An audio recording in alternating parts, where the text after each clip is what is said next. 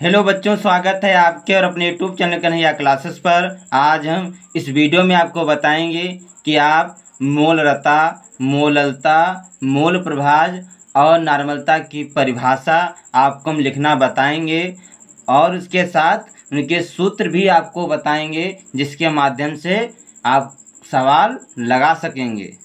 तो सबसे पहले हाइडिन डालेंगे, मोलरता, इसमें लिखेंगे एक लीटर विलेन में उपस्थित विलय की मोलों की संख्या को विलेन की मोलरता कहते हैं। इसे कैपिटल एम से प्रदर्शित करते हैं। यानी कि मोलरता की परिभाषा है एक लीटर में। एक लीटर में विलेन में उपस्थित विलय की मोलों की संख्या को विलेन की मोलरता कहते हैं। इसे कैपिटल एम से प्रदर्शित करते हैं। अब सूत्र लिखेंगे, मोलरता बराबर विलय के मोल बटे विलेन का आयतन लीटर में। यानी कि सूत्र है, मोलरता बराबर विलय के मोल बटे विलेन का आयतन लीटर में। दूसरा सूत्र है, मोलरता बराबर विलय के मोल बटे विलेन का आयतन एमएल या सेम, सेमी क्यूब। गुड़े एक हज़ार। यानी कि हमने यहाँ पर दो सूत्र लिखे हैं। यदि सवाल में लीटर में दिया होगा तो आपको गुड़े में एक हज़ार नहीं लिखना है। अगर मूलता निकालना है और लीटर में ना देकर मिली में दिया है, ग्राम में दिया है तो आप गुड़े एक हज़ार लिख सकते हैं। यानी कि यहाँ पर हमने दो सूत्र लिखे हैं। जब आप सवाल लगाएँगे तो आप एक बात ध्यान रखेंगे कि यदि लीटर में दिया है तो सूत्र लगाएँगे। मोल रता, बराबर विलय के मोल बटे विलयन का आयतन लीटर में। तो आप गुड़े में एक हज़ार नहीं लिखेंगे। यदि मोल रता निकालना है, उसमें एमएल में दिया है या सेमी क्यूब में दिया है तो आप गुड़े एक हज़ार लिखेंगे। तो यहाँ पर हमने दो सूत्र लिखे हैं। मूल रता के आपको ध्यान देना है कि सवाल में लीटर में दिया है कि एमएल में दिया है या सेमी क्यूब में दिया। उस हिसाब से आप सूत्र लगाएँगे। अगले डालेंगे मोललता। इसमें लिखेंगे, एक किलोग्राम विलायक में विलय की मोलों की संख्या को विलयन की मोललता कहते हैं। इसे स्मॉल एम से व्यक्त करते हैं। यानी कि मोललता की परिभाषा है, एक किलोग्राम विलायक में विलय की मोलों की संख्या को विलयन की मोललता कहते हैं। इसे स्मॉल एम से व्यक्त करते हैं। अब इसका सूत्र है, मोल ललता बराबर विलय के मोल बटे विलायक का द्रव्यमान केजी में। दूसरा है मोलता बराबर विलय के मोल बटे विलायक का द्रव्यमान ग्राम में गुड़े एक हज़ार। यहाँ हमने मो ललता के भी दो सूत्र लिखे हैं। यदि सवाल में द्रव्यमान केजी में दिया है, विलायक का द्रव्यमान केजी में दिया है तो आप गुड़े एक हज़ार नहीं लिखेंगे। और अगर विलायक का द्रव्यमान ग्राम में दिया है तो गुड़े में एक हज़ार लिखेंगे, उसके बाद सवाल को लगाएँगे। यहाँ पर दो सूत्र हैं।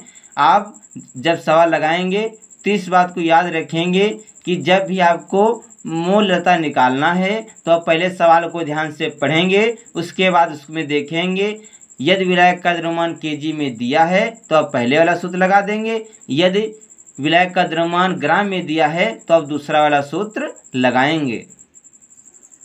अगले डालेंगे नॉर्मलता। इसमें लिखेंगे, एक लीटर विलेन में उपस्थित विलय की ग्राम तुल्यांकों की संख्या को विलेन की नॉर्मलता कहते हैं। इसे कैपिटल एन से व्यक्त करते हैं। यानी कि नॉर्मलता की परिभाषा है, एक लीटर विलेन में उपस्थित विलय की ग्राम तुल्यांकों की संख्या को विलेन की नॉर्मलता कहते हैं। इसे कैपिटल एन से व्यक्त करते हैं। अब इसका सूत्र होगा नॉर्मलता का तो लिखेंगे, नॉर्मलता बराबर विलय के ग्राम तुल्यांकों की संख्या बटे विलेन का आयतन लीटर में। इसका दूसरा सूत्र है नॉर्मलता बराबर विलय के ग्राम तुल्यांकों की संख्या बटे विलयन का आयतन एमएल में गुड़े एक हज़ार। यहाँ पर हमने दो सूत्र लिखे हैं। जब आप सवाल को लगाएँगे तो याद रखेंगे, यदि विलेन का आयतन लीटर में दिया है तो आप पहला वाला सूत्र लगाएँगे। यदि विलेन का आयतन एमएल में दिया है तो आप यहाँ पर गुड़े एक हज़ार लिखा है, यानी कि आप दूसरा वाला सूत्र लगाएँगे।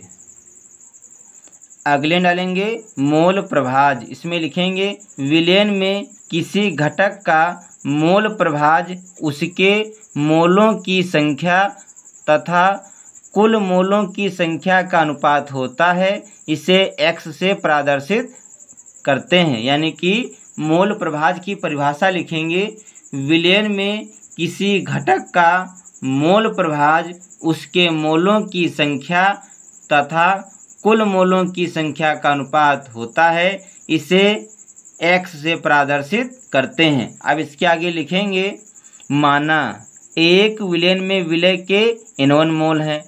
मैंने लिखा यहाँ पर माना कि एक विलेन में विलय के एन मोल हैं तथा विलय के एन मोल उपस्थित हैं।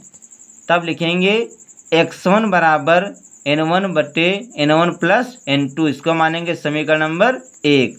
फिर लिखेंगे एक्स टू बराबर एन टू बटे n one plus n two इसको मानेंगे समीकरण नंबर दो। अब क्या करेंगे?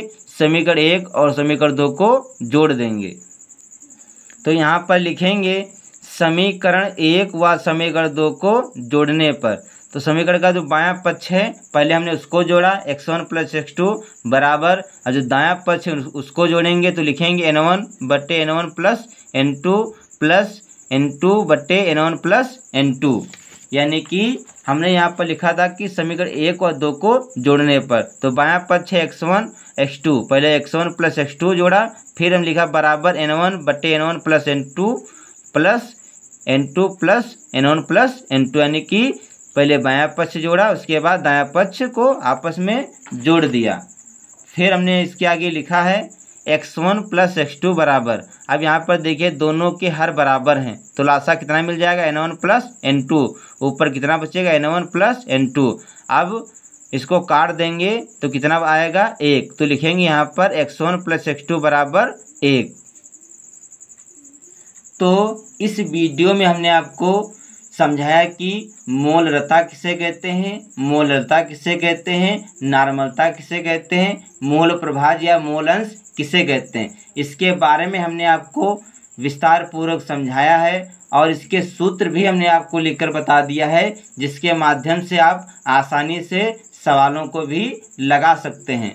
तो बच्चों, अगर हमारा वीडियो आपको अच्छा लगे तो इसे लाइक, शेयर और सब्सक्राइब ज़रूर करें। मिलते हैं अगले वीडियो में नए टॉपिक के साथ।